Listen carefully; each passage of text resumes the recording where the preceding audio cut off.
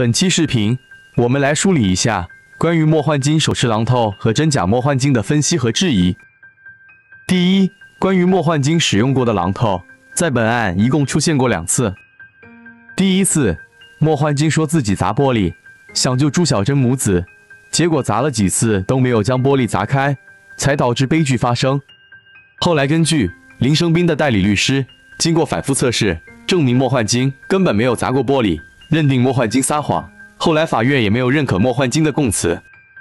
第二次出现在记者事后采访邻居，邻居告诉记者说莫焕晶用榔头砸邻居门，提醒邻居逃跑。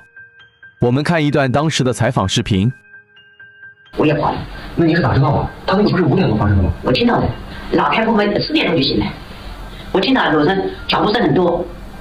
就是我们十七楼那个脚步声很多，很多嘛他，呃那个呃，他们也有阿姨叫知道是谁，我不知道，我跟他们没接触的，十七楼的，十七楼那个人就说快点起来着火了，快点起来着火了，那我就跳起来了，我在窗户就叫了，啊着火了，保，我们女婿也起来了，我们女婿就打了幺幺零，那是五点零八分，那个时间呢，我逃的时候，我刚到十五楼的时候，他们家阿姨也在敲我们的门，一个榔头的那么长的一个榔头，我听到了，砰。砰！我说你不要敲了，我已经下来了。你说的是几楼的阿姨？十二楼的阿姨。她来敲您的门？对，那就那个门，那个门。他敲你门的原因是什么？叫我们快快快逃，楼上着火了。他知道了，我们对他们是好的。那后来他，你还见过他吗？没有。我我自己逃的。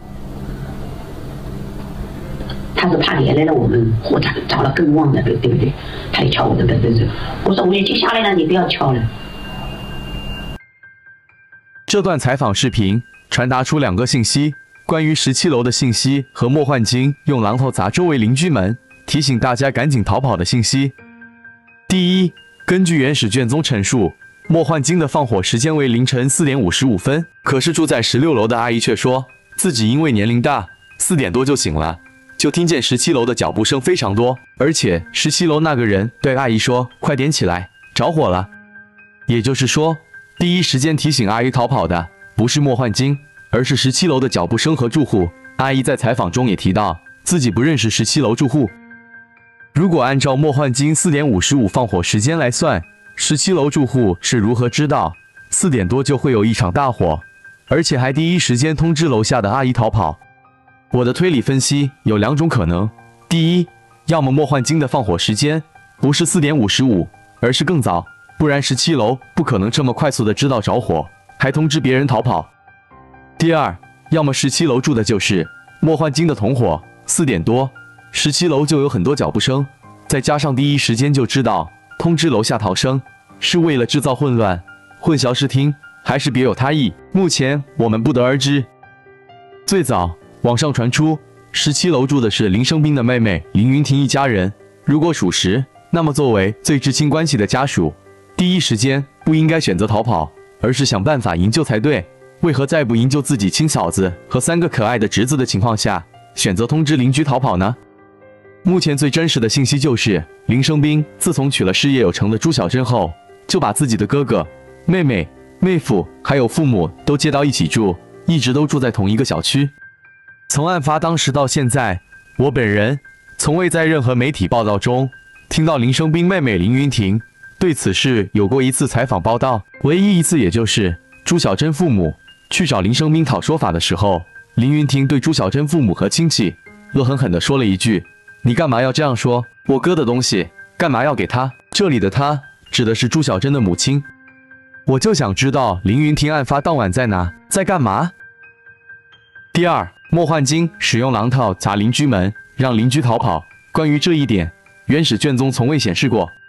当莫焕晶用榔头敲到十六楼阿姨门的时候，阿姨已经接到十七楼住户通知，走到了十五楼了。如果莫焕晶放火理由成立，那么他为何没有时间营救朱小珍母子，反而有大把的时间来通知邻居逃生呢？如果莫焕晶的放火时间也成立，那么在那么短的时间内就立马燃起了熊熊烈火，除非房间里有大量的助燃剂，这也是唯一能解释通的理由。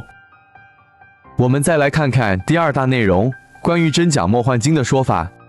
其实这种说法，截止目前已经在网络上流传了很长一段时间了。我一开始真的不相信，随着这种说法愈演愈烈，我现在也开始有点半信半疑了。我们先看一段视频。对他卖保险的，我女儿的保险就是他在他那里买的，服务特别好啊。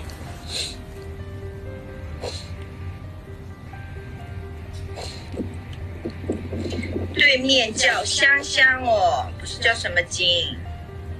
我说了，那个时候我是跟他一起打游戏，然后游戏上的名字你们都是知道的呀，对吧？对方是搞游戏设设设计的呀，对吧？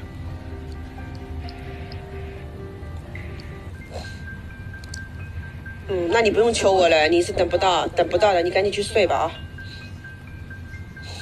我一七年的照片我怎么发，我都不知道发哪一张给你看。他说卖保险的好多骗子。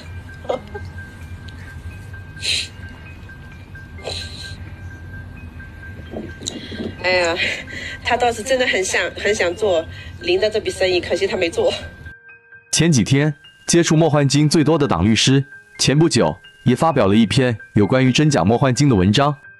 从内容来看，党律师似乎也有些恍惚，他更相信这种狸猫换太子的可能性几乎没有，也希望有关部门可以调查一下。关于真假莫幻金，很好解决，当事人想要证明自己的清白。可以去相关部门带上自己所有的相关信息资料，做一次彻底的司法鉴定，还自己一个清白。可惜的是，到目前为止，当事人和相关部门都没有任何举动。本期视频到此结束，谢谢大家的收看。如果你喜欢大象的视频，请点赞关注。如果你有不同的看法，请在评论区留言，我们理性讨论。请各位水军给我死远好吗？谢谢。